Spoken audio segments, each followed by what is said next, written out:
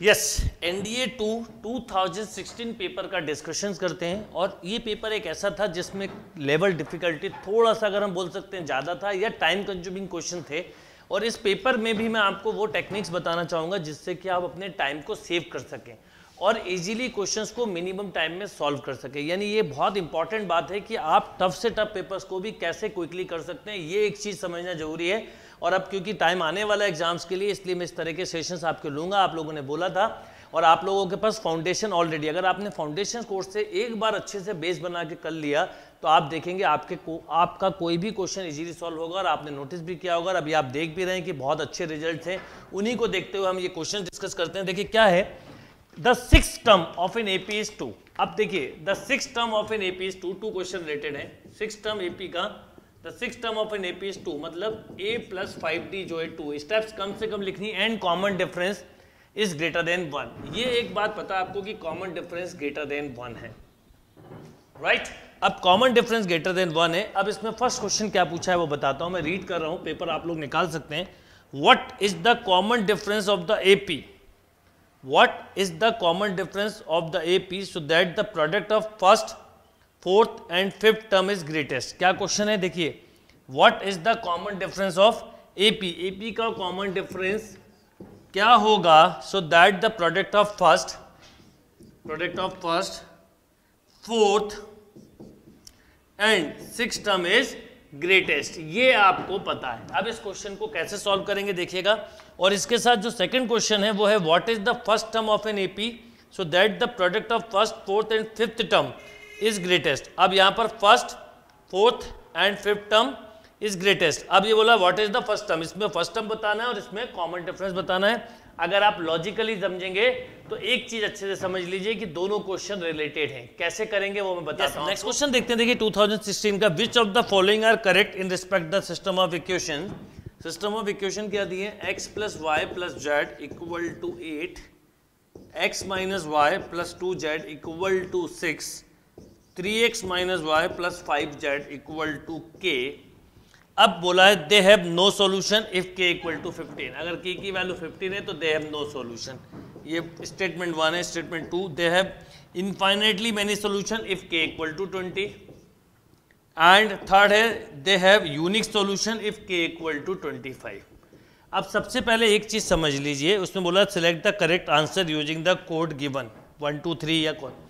सबसे पहले एक चीज़ समझिए, आपको यहाँ पर इसके बारे में बोला गया है तो इसका पहले डिटर्मिनेंट निकाल लीजिए क्या होगा। तो अगर मैं इसका आपसे बोलूँ डिटर्मिनेंट निकालिए मेंटली करिएगा माइनस फाइव प्लस टू तो मिला माइनस थ्री राइट अब इसके साथ क्या सिक्स माइनस फाइव मिला आपको वन और वन के साथ किया तो minus one minus one plus three तो प्लस टू यानी डिटर्मिनेंट ज़ीरो है। अगर इसका डिटर्मिनेंट ज़ीरो है तो यूनिक सॉल्यूशन तो मिलेगा ही नहीं। तो दे हैव यूनिक सॉल्यूशन के से कोई मतलब नहीं है। डिटर्मिनेंट ज़ीरो है, इसका मतलब थर्ड तो रॉन्ग है। अब अगर आप ऑप्शन पे जाएँ तो कितना one and two only logic कैसे बनते हैं, वही मैं आपको समझाना चाहता हूँ। Two and three only C a one and three only D a one two and three अब आपसे करेक्ट बोला थ्री वाला तो करेक्ट है ही नहीं तो जिसमें थ्री आ रहा है, वो आंसर नहीं होगा तो बिना सॉल्व किया वन एंड टू बोल सकते हैं। अब देखिए छोटी छोटी चीज़ें मैं जो हमेशा बोलता हूँ, और इसीलिए मैंने आपको जो फाउंडेशन कोर्स दिया है या पढ़ाया, उसमें बहुत छोटी छोटी चीज़ें समझाई। उसको अगर एक बार कंसेप्ट बना के पढ़ लिया क्वेश्चन बहुत जल्दी सॉल्व होंगे, कि आप पहले इसका डिटर्मिनेंट देख लीजिए। तो जब आप, अब आप डिटर्मिनेंट बनाने में भी टाइम खर्च मत करिए। ये छोटी छोटी चीज़ें भी हमारा टाइम खर्च करती हैं every step save more than twenty second अब देखिए, आपको वही काम मैंने मेंटली करते हुए किया था one into minus five plus two अब आप अक्सर माइनस लेते हैं, मैं यहाँ पे प्लस लेता हूँ मल्टीप्लाई ऐसे करता हूँ तो सिक्स माइनस फाइव और वन के साथ क्या तो माइनस वन प्लस थ्री अब देखिए, ये मिला माइनस थ्री ये मिला वन ये मिला टू ये मिला ज़ीरो डिटर्मिनेंट ज़ीरो आते ही यूनिक सॉल्यूशन की बात खत्म हो जाती है। इसका मतलब इसकी बात ही खत्म हो गई। अब बचा है कि अब आपको डेल्टा एक्स या डेल्टा वाई देखना है। जब आप डेल्टा एक्स देखते हैं तो एक्चुअल में क्या करते हैं? इस एक्स के प्लेस पर आप ले लेते हैं eight six and k logically बस इतना ही चेंज होता है और कोई चेंज नहीं होता। और इससे क्या फ़र्क पड़ता? है देखिए इससे क्या फ़र्क पड़ेगा अगर मैं देखूँ? तो जब मैं एट के साथ करूँगा तो वही रहेगा minus five plus two plus one के साथ करिए। या के इस, इस ऑर्डर में भी कर सकते हैं आप किसी भी ऑर्डर में कर लीजिए इससे कोई दिक्कत नहीं। आपने वन के साथ किया तो two k minus thirty two k minus thirty question का आंसर हम ऑलरेडी दे चुके हैं। मैं समझा रहा हूँ तो माइनस सिक्स प्लस के अब देखिए क्या मिलेगा, यहाँ मिलेगा थ्री माइनस का तो minus twenty four plus two k minus thirty minus six plus k right अब एक चीज़ समझिएगा, यहाँ पर ये हो गया टोटल थ्री के और ये हो गया माइनस ट्वेंटी फोर और माइनस मतलब माइनस सिक्सटी लॉजिकली अब अगर ये मान लीजिए ज़ीरो हो जाए ये ज़ीरो हो जाए तो इनफाइनाइट मैनी सोल्यूशन तो three k equal to sixty तो के अपने आप ट्वेंटी आ गया। यानी देखिए स्टेटमेंट करेक्ट है। अब के फिफ्टीन के लिए, क्योंकि हम वाई को भी एलिमिनेट करते हैं जेड को भी, पर ये सब नहीं करना है। आपने एक चीज़ देख ली कि थर्ड स्टेटमेंट फॉल्स है। अब थर्ड फॉल्स है और थर्ड जहाँ जहाँ आ रहा है, वो करेक्ट हो नहीं सकता, इसलिए वन एंड टू फिर भी मैंने आपको एक लॉजिक के लिए बताया तो कोशिश ये होना चाहिए कि क्वेश्चन में कैसे हम जल्दी करें। और वही एक चीज़ है मैं आपके साथ 2016 का पेपर इसलिए डिस्कस कर रहा हूँ, फिर से कि आप इन चीज़ों को समझें कि जो लेंदी पेपर था या जहाँ पे क्वेश्चन सॉल्विंग टाइम लगता था, वहाँ पे भी आप अगर टाइम सेव कर सकते हैं तो फिर आप किसी भी तरह का पेपर बहुत इजीली हैंडल कर सकते हैं। और नॉट ओनली फॉर एनडीए आप आईआईटी के भी पेपर के सॉल्यूशन देखें, मेरे आपको समझ में आ जाएगा डिफरेंस क्या है। सिंपल टेक्निक से करे हुए सॉल्यूशन से बस एक ही चीज़ पे वर्क करता हूँ कि 11th 12th का फाउंडेशन और पढ़ने का जो टेक्निक है, वो बहुत स्ट्रांग होना चाहिए आपका राइट नोट कर लीजिए। अब देखिए नेक्स्ट जो क्वेश्चन है, उस क्वेश्चन को ध्यान से समझिए। क्वेश्चन में ये बोला गया है कि A equal to one minus one two three and B equal to two three minus one minus two A B and A inverse B inverse unit matrix statement one है। स्टेटमेंट टू है A B का inverse equal to A inverse B inverse आपने ये पढ़ा है कि reversible law follow करता है। बट क्योंकि एक चीज़ समझिएगा क्वेश्चन छोटा है, हो सकता है इसके मल्टीप्लीकेशन में सेम आए। इसलिए थोड़ा सा अगर हम यहाँ पर कर लें, वैसे भी आपको देखिए ए बी भी निकालना है ए इनवर्स बी भी निकालना है। इसका इनवर्स अच्छा टू इंटू टू का इनवर्स निकालना बहुत आसान होता है ए बी सी डी अगर मैं आपसे बोलूँ तो आप बोलेंगे ए डी माइनस ऑफ़ वो तो ये इसका इन्वर्स अगर डायरेक्ट निकालना तो सिंपल सा लॉजिक है one upon a d minus b c ये दोनों इंटरचेंज होते हैं डी ए और इनके साइन चेंज होते हैं। राइट ये सब चीज़ें आपने करी हुई हैं। अब यहाँ पर एक चीज़ करिए। सबसे पहले अगर मैं आपसे बोलूँ कि ए बी क्या होगा? ए बी एक मैट्रिक्स बनेगा। तो अगर मैं आपसे बोलूँ ए बी क्या होगा तो आप बोलेंगे one minus one, two, three. ऐसे क्वेश्चन में जिसमें थोड़ा सा भी डाउट हो, इसको बाद में करिए। ये पहले करने वाला क्वेश्चन नहीं है। ये भी एक इंपॉर्टेंट चीज़ है कि सिलेक्शन ऑफ़ क्वेश्चन हमारा बहुत स्ट्रांग बहुत लॉजिकल बहुत प्रॉपर होना चाहिए। कहीं पे भी लगे टाइम लग रहा है लीव दिस क्वेश्चन आगे बढ़ जाइए, आपको 90 क्वेश्चन राइट करने की कोशिश करना है। अब 20 30 जो लेंदी है टाइम कंज्यूमिंग है, उनको आप बाद में देखिएगा। अगर आपने उन 20 को 30 को पकड़ लिया तो इसका मतलब है आपके अटेम्प्ट कम हो जाएँगे, क्योंकि टाइम लिमिटेड है।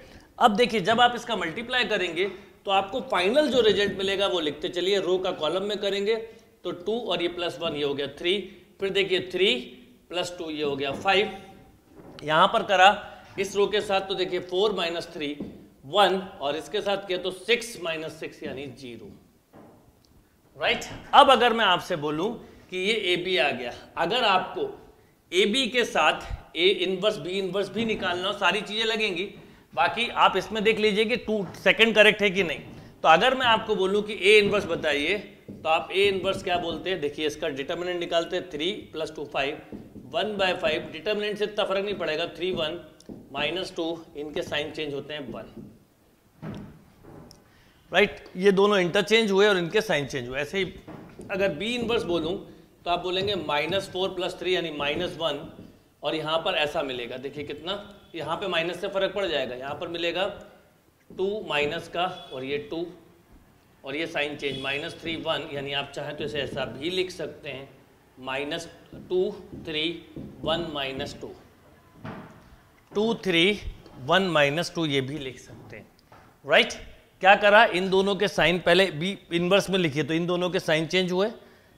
इन, ये दोनों चेंज होते हैं सॉरी और इसके साइन चेंज होते हैं तो माइनस थ्री वन और ये माइनस वन इसका क्योंकि डिटर्मिनेंट आ रहा है तो आपने माइनस वन का मल्टीप्लाई किया तो टू प्लस थ्री माइनस ये हो जाएगा माइनस वन और ये हो जाएगा माइनस टू राइट जब भी मल्टीप्लाई करेंगे तो ये ध्यान रखिएगा कि पूरे मल्टीप्लाई होंगे। अब आपके पास अगर मैं आपसे अलग से बोलूँ कि बताइए ए इनवर्स बी इनवर्स क्या होगा? तो इसका मतलब आप बोलेंगे वन बाय फाइव राइट आप बोलेंगे वन बाय फाइव इन दोनों को लिख लीजिए। कितना कितना है?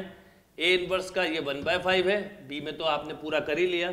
तो three one minus two one अब देखिए two three minus one minus two इसका मतलब ये हुआ, ये वन बाय फाइव ऐसे ही रहने दीजिए। इस रो को करेंगे।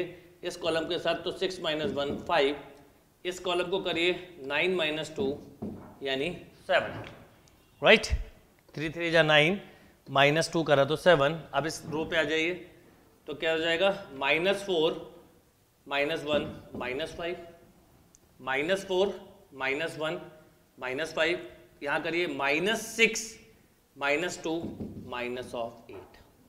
ये ए बी इनवर्स आया। अब एक चीज़ देखिएगा अगर मैं आपसे बोलूँ कि इसका इनवर्स बताइए तो आप बोलते ए बी का इनवर्स यहाँ पर आपको डिटर्मिनेंट मिलता माइनस वन बाय फाइव और ये दोनों इंटरचेंज होते, ये दोनों इंटरचेंज होते तो ज़ीरो थ्री और ये मिलता माइनस वन ये मिलता माइनस फाइव इसका मतलब आप इस वाले स्टेटमेंट को रॉन्ग बोल सकते हैं।